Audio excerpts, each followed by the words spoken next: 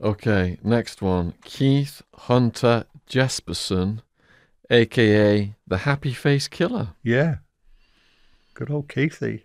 How did he earn that name? Well, Keith was an interstate trucker. Again, a big guy, six foot seven, built like one of his trucks. Uh, Born in Canada, settled in Seattle area. Would go out on his rig, driving all around the states, picking up girls, uh, prostitutes at truck stops, and then raping them and killing them. I think he killed seven. He it's quite interesting in many ways, but his probably the most horrible kill he did was a girl. I think her name was Subrize. He tied tied her body under the back axle of his truck, his rig, when she was alive or half alive, and dragged her about twelve miles, I think, across the snow, Jesus. Pass in the rain and the snow, Oh. until all that was left was fragments of bone and skin. Oh. But this is the fascinating bit about this thing. This was the girl whose body, or part of her body, caught his arrest, although there was nothing of her left. Some road cleaners were going along picking up trash, and they found what the part of a, what they thought was a roadkill of a deer or something, a bit of meat, but it was a human part of a human thigh, and they they called their inspector just to check it, and he said that looks like a human part of a human. So they took it to the doctors, a surgeon or somebody, and in the bone was a small stainless steel pin, pin, no no bigger than a small matchstick, smaller than a matchstick really. And under the microscope, it had a number, and she'd had a, a bone injury, and she'd had it pinned, and they traced that number back to her back to Keith. Wow. And that's how he got caught. But while he was on the run, he was sending taunting letters to the police, catch me if you can type letters, like Bill Heirens did and a few others. And he'd always put a, a smiley and a happy face. But when I tell him, when I when I was right, I mean, I had thousands of letters from him. But when I what I did in a couple of letters, I put a smiley, and he said, "Don't insult me with a smiley. I think that's rude." But he again has scores of murder groupies writing to him. And he sent me a thick file of love letters because he likes to boast with photographs of the girls have he that have written to him. And one of them he said, This girl, look at this girl's letter, and it had a red lipstick mark on it. And I just, oh, it's a lipstick, you know, a kiss. And then when I wrote back to him, said, "Who was the girl that kissed the letter?" I said, "I happen to know who it was. It's an American girl." He said, "Oh no, that's not lipstick. That's menstrual blood. wow. No, sick, sick man." What caused him to become a sick man? We're all born as little babies, and then what happens? How do they people? Well, he again he had a great home. Uh, his father was an outdoor man, fisherman. I mean, wanted to bring his health up. Probably a bit strict, but that's no excuse for what he did. Religious. He just became a, a, a sick pervert, and that was it. There was nothing in his childhood to suggest he'd been abused or anything like that. There was no no signs of abuse. So then, so he was just driving over around the country then, random victims here and there. Yeah. Just pick up hitchhikers or something. Well, they were prostitutes at drugs, uh, or, or or hitchhikers. Prostitutes at truck stops. I mean, you get a lot of that uh, with um, truckers, and you get it with taxi drivers sometimes, and you get it with delivery drivers and people out when they're driving along on their own a lot. They start to fantasize, especially if they've got some inner fantasy.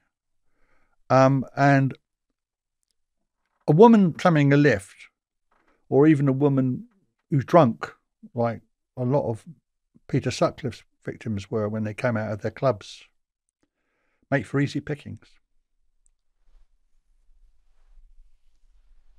Have you studied Sutcliffe much? Yes. What's your thoughts on him? It's, I think it's always been posed that he was a sex killer in the true sense. I disagree. He never once killed for sexual gratification, not like a lot of other serial killers. He killed because he hated women with a passion. Because most of them were prostitutes, or I prefer to say working girls, a bit more PC, he had a hatred for his mother because she cheated on his father, and that shocked him. He found out that Sonia, when they were engaged, had had an affair. That was his wife. Yeah, later his wife. Uh, it, a little man syndrome almost with him. And he built up this hatred. He, he was an insignificant little gravedigger, but he was he had a big, he, he was narcissistic, narcissistic, and he would groom himself for hours, standing in front of a mirror, trying to make himself look bigger and smarter than what he was. But women generally weren't, weren't very interested in him. Only Sonia was the only one that really took any interest in him. And he developed this hatred for women. And of course, if you hate, if you get into that pathology, then you start thinking, what are the easiest prey? And then it's prostitutes. And they're dirt. To him, they were dirt. And if you look at the kill itself, there was never any sexual assault as such, not rape or anything like that. It was overkill. It was bashing the head in and when a ki- serial killer, like for instance Harvey Carignan, who I interviewed, Harvey the Hammer, in in Minnesota, when you see a destruction of the head or terrible stabbings, there's hatred more than anything. Do you see what Just I mean? It's an overkill, a frenzy. Keith Hunter Jesperson told me in MCF. Um, I said, "Why did you smash their skulls to a pulp?" He said, because they played mind games with me and I was destroying the mind. But can you see it now? Can you see that mind set thinking? Yeah. Hate women, the brain, the mind playing mind games, teasing him. Same with Sutcliffe. It, it's not rocket science when you actually look look at it carefully. Do you know anything about Sutcliffe's relationship with Jimmy Savile?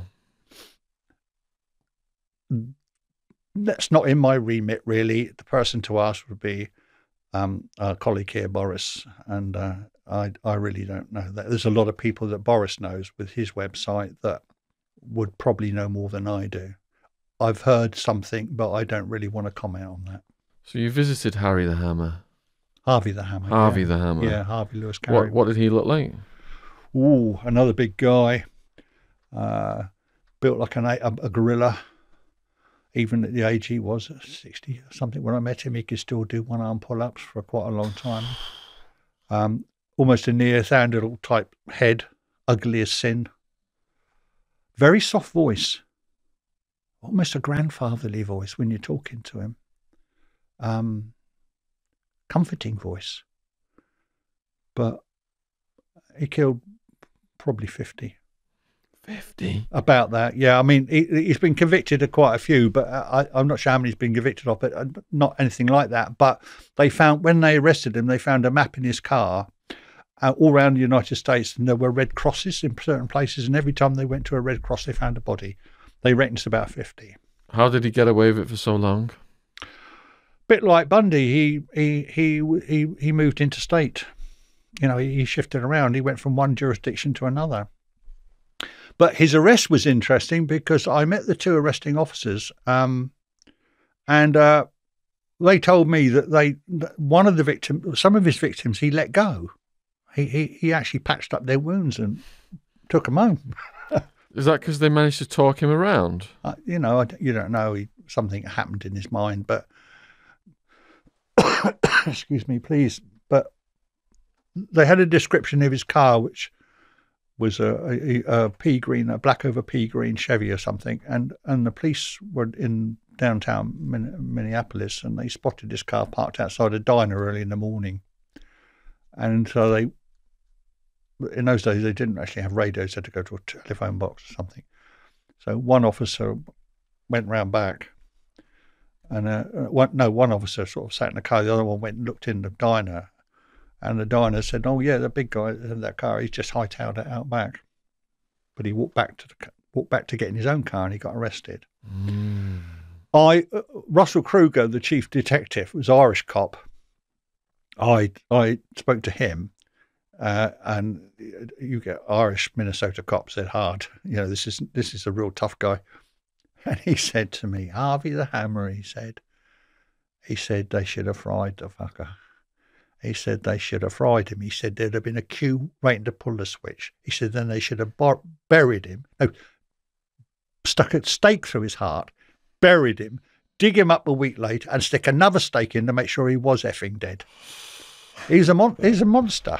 Wow. But when you actually talk to him, despite his ugly looks, and again, you can find his picture on the uh, Minnesota inmates website, he looks like an ape, a gorilla, but he's got such a soft voice. You know, you wouldn't think. early, And he was unshackled as well. yeah, Good as gold. early you mentioned Henry Lee Lucas. What do you think about all the um, unsolved crimes they pinned on him? Yeah, Henry. Yeah, good old Henry boy. Yeah. Um. Again, part of all my travels, really.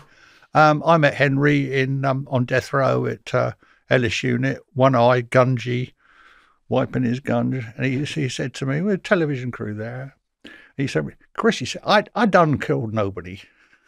You see. Okay, Henry. What so? What so? No, he said, I never, I done never killed my mum. I never killed my mum. My my sister never killed my mum, but I done killed my sister. But I never never killed anybody. Like he was completely off the wall. Um, him and Otis O'Toole, they killed everything that walked, flew, swam. And I spent a good few weeks out in Texas. Uh, again, cops, everybody, everything unique. I love Texas, and um, I didn't interview Otis, but I interviewed Henry, and um, he. The police say that he killed scores and scores of people, but in a lot of cases, what it was was all these homicides. What the minute jurisdictions all around America realise Texas has got a complete nutball there, they want to they want to clear all their cold cases up, put it on Henry. and I think most of your viewers will go, "Yeah, he did 100 or 50 or 60." No way he didn't. But what he, I mean, some of the murders pinned on him were the same day, but 400 miles apart. couldn't have done them. It got out of control, didn't it? I mean, he was getting, he had new teeth fitted, fitted. Yeah. He had new clothes, and all these detectives are doing grip and grins with him, Yeah. and then he's in the limelight. but you know, he got off death row because he was mentally ill at the end, and uh, and but he died of natural causes. What about his sidekick? What happened to him? Otis, he died. Yeah, he was a sick man anyway. Was he? Yeah, they're both sickos.